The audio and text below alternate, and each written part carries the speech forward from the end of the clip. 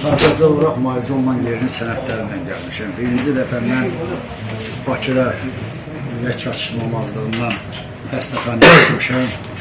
Burada mənə cərrahi əməliyyat eləmək istəyiblər. Birinci gün yox, ikinci gün. Sonra Adil Qeybulla professor, tanıyırsınız, alim gəlib məni qoymadı kəpirəçi eləməyə, sənin prioritin çoxdur, stolda qalarsan.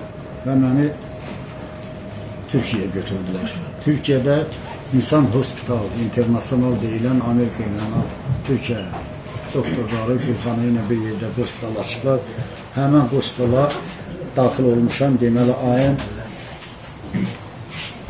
eşi ayın 10-u 4-cü ay şey 5-ci ay həkimin oğlu professor, doktor polkovnik Mustafa Kamal Orada mənim bütün hər şeyi yoxlayandan sonra konsulim keçirib deyiblər ki, əməliyyat eləmək olmaz. Ürək çox zəifdir. Mənə həmən hospitalın hesabına Yalova deyilən yer var. Bağdada orada terminal sular var. Dağ havası var. Ora yazdılar. 12 gün ora getmişəm. Terminal su dərnəsi təcrübələnməsin. Bizim Kəlbəcərin isti suyu kimi bir sudur. Əfsuslar olsun ki, hələ isti su bizim Kəlbəcər isti su ondan yaxşı idi. 12 gündən sonra gəlmişəm yenə həmən hospitalda deyiblər əməliyyat eləmək olmaz. Yenə də dağ şəraitində hava qəbul eləmişəm. Bakıya qayıdıb Şamaxıya getmişəm. Şamaxıya gedəndə də ayağım orada sınıb iki dəfə komaya düşmüşəm. Yenə də professor Adil Qeybullahın sahəsində komadan çıxmışam. Təcil yardımda olmuşam.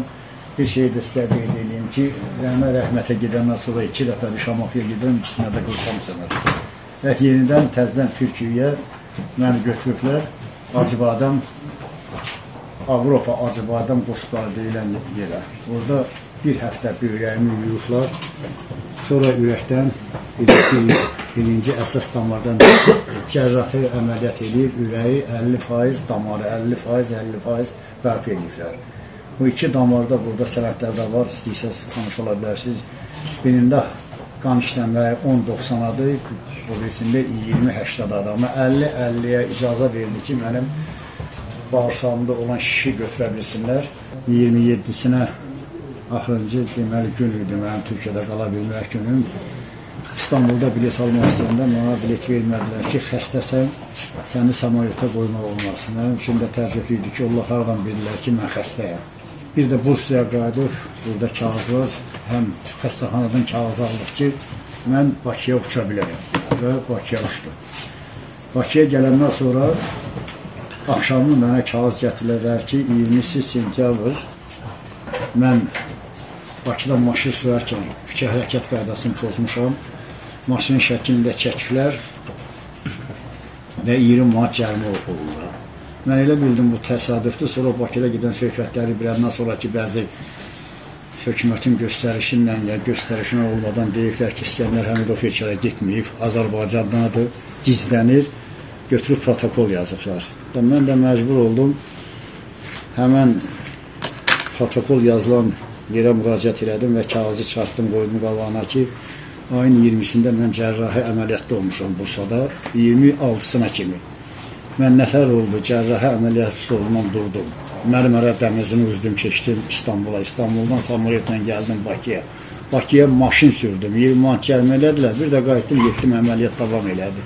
Başa düşdüm ki, bu qurulmuş bir kampaniyanın davamıdır. Yəni tərkib bir hissəsidir.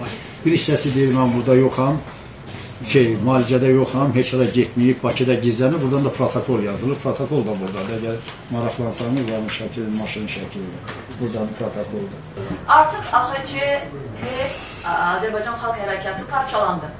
Bu barədə fikirlər var. Yəni bunu mən demirəm. E, nə fikir verirəmsə, ictimaiyyətdən gələn, elə siyasilərin özündən gələn fikirləri sizə e, deyəcəm. Parçalandı artıq bu e, bu hərəkat heç nə edə bilməyəcək. Yəni bu fikirlər var. Sizin parçalanmış bir hərəkatın və onun e, önündə gedən 72 yaşlı İskəndər Həmidov kimə kimin üçün təhlükədir? Vallahi, Ola bilər yaxud. Mən e, xanım, biraz sizi savadlı bilirlər, biraz da dünya görmüşlü bilirlər. Əgər biz təhlükə deyildiksə, 100 nəfəri birdən niyə həbs edirlər? Əgər Azərbaycan xalq hərəkəti təhlükə törətmirsə, bizim adamları aparıb 30 sutka verir, toka niyə verirdilər?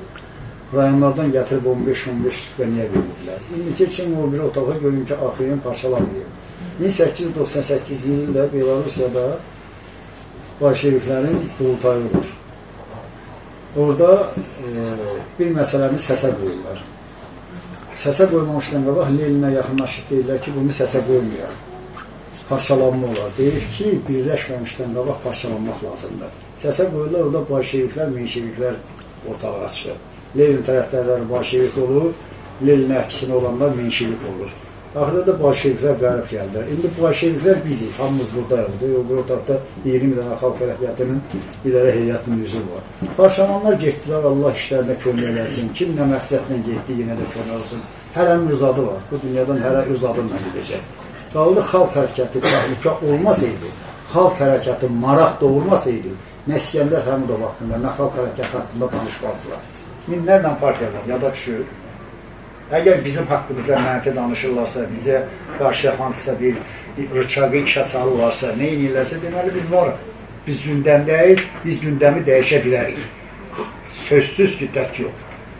Eyni fikirlilər, yəni həmkarlarımız da bilirlər. Mən inanmıram ki, biz fikirdən yayılmışıq. Hansısa plan, hansı kimlərsə sizə qarşı belə bir çıxışlar edir. Bu planlar harda hazırlanır və sizə qarşı bu cür çıxışların olması hansı məqsədi daşıyır? Xahiş edirəm bu barədə. Yəni əgər fikirləriniz varsa. Harada hazırlanmağını deyə bilmərəm. Niyə danışdıqlarını da deyə bilmərəm. Amma Allah canlarını sağ eləsin, gündəmdə saxlayıblar məni. İnsan ən pis şey insana biganəlik təsir, təsir edir. Səni tərifləyəndə də xoşdur, səni pisləyəndə də gündəmdə saxlayırlar. O adamlara mən sağ ol deyirəm, məni gündəmdə saxlayıblar. Cənab General, siz ölkədə olmayanda belə bir məlumatlar yayılır ki, siz e, belə deyək, Asif bəylə e, polis rəisinə 30 min pul almışsınız. Eyni zamanda da e, Cavid Qurbanov sizə 35 min pul verir və bunun qarşılığında siz bilmirəm, öhdəlik mi götürmüşsünüz, yoxsa nəsə eləyəsiniz və Asif bəy sizi girov saxlayır. İstəyir Asif bəy də bu ithamlara cavab versin, yəni buna məsələ. Birinci polis bizə 30 min verir, yoxsa biz polis rəisi Onlar sizə verib, hər ayda verir. Ya bu çox təəccüblü Azərbaycanda analogiyası olmayan bir söhbətdir ki, polis rəisi adama pul verir. Adətən polis rəisinə pul verirlər. Belə desəydilər, biraz inandırıcı idi. Hərəkatın e, üzvləri bildirmişlər. Mən Həmdov, Cavit Qurbanovu mən axırıncı dəfə 93-cü ildə Kərbələr işğalına sonra görmüşəm. Ondan sonra bunun yolu ayrı hakimiyyətdədir, biz müxalif. Həmən həm pul vermək istəyənlərə 30 milyonu mən sizə vicdanımın qarşısında tamamilə məsuliyyət edirəm. Götürərəm onu 29 milyonunu Azərbaycan xalq hərəkatına xərcləyərəm. 1 milyonlarını da sizə xərcləyərəm, məni iqram edərsiniz. Artırılır. Qəbul, xanım, mənə şərt qəbul etmək, bu sizə bir söz deyim, müəyyən edir. Mənə yaxşılıqla təzyiqləndirmək olmur. 30 ildə əgər mənə şərt qəbul etdirə bilmirlərsə, 70-dən sonra mənə şərt qəbul etdirə Yəni 200 min, 200 min pul verirlər, mən qırğa çəkilmişəm. Özü o şahyanı yiyən adamlar məni çox yaxşı tanıyırlar və mənim qiymətimi bilirlər. Hər malın öz qiyməti var. Əgər Azərbaycan siyasətçiləri özlərinə əmtaya kimi, mal kimi baxırlarsa, mənim qiymətim 300 milyondur. 200-300 min deyil. Özü deyən adamlar məni hamıdan yaxşı tanıyırlar. 5 il bundan qabaq, 10 il bundan qabaq mən onların hamısının cibinə pul qoymuşam. Elə olub aparatur olmuyor, aparatur bunda heç demirlər pul hardandır. Məni yəni nə, nə tərhası, nə, nə qədər mən basit bir insanam ki, 200-300 min alam.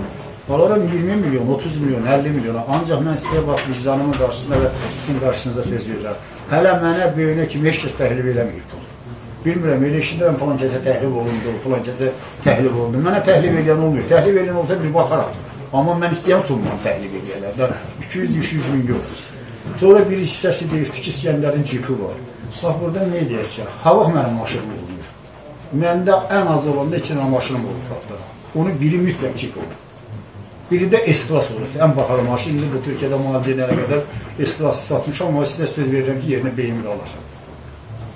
Mən deməli, biz bəyəm kimsə insan kimi yaşamaq istəyir, babat yaşayırsa, hökmən özünü satmalıdır. Hələ dünyanın o qədər pul istehsal olunmuyor ki, mənə kimsə satın ala bilər. Bu çox çətin məsələdir. Məni dostluqla təəccübləndirmək olar, insanlıqla təəccübləndirmək olar, məni döyüş təəccübləndirmək olar. Amma pulla məni heç kəs təəccübləndirə bilməz, çünki gözüm açıb pulun içində böyümüşəm. Gözüm açıb pul görmüşəm, vəzifəmdə pullu vəzifə olub, dədəm babamdan da olubdu, qardaşlarımda da olubdu. Yəni bir müalicənin puluna qaldı. Ən maraqlı deyirəm kimdir. Bu müalicənin pulunu kim verib? Bu sual çıxacaq ortaya. Birinci müalicə məndə aparır cəmi cümlətən 24 min dollar. Burada var kağızlar hamısı. Yenə də tanış ola bilərsiniz.